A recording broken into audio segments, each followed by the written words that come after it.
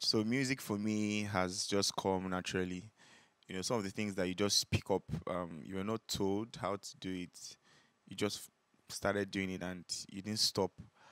Um, so I started up um, just loving music, singing, joining the church choir, joining the school choir, um, taking up music exams. So it's just something that comes naturally, apart from every other thing I do.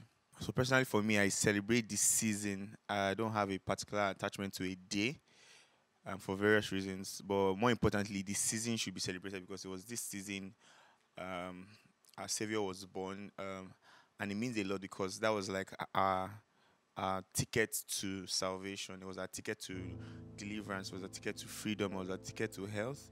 And every good thing that redemption has for us.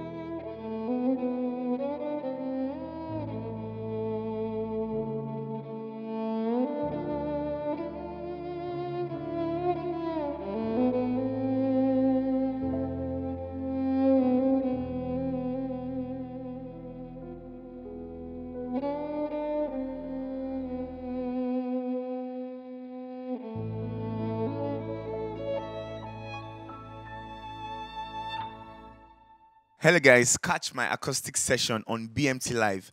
Please subscribe, like, and share. I wish you a wonderful season. Season's greetings, and God bless you.